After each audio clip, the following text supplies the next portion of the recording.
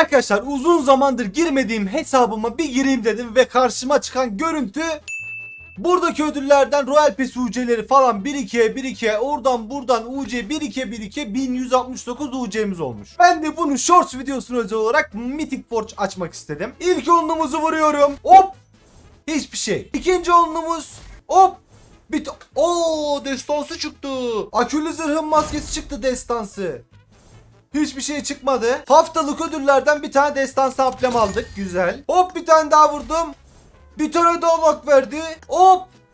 Yine hiçbir şey vermedi. Sonuncuyu vurdum ve bir tane parçacık verdi. 29. Bir tane daha olsaydı gidip bunu bir tane destan amblemine çevirebiliyorduk. O 3 taneyi de buradan aldık. Geldim bunu buradan birleştirdim ve bir tane daha amblemim oldu. Toplamda 4 tane amblem, bir tane de destansı akülü zırh başlığı çıkarmış olduk. Bence gayet güzeldi. 1000 UC'ye daha ne alabiliriz ki?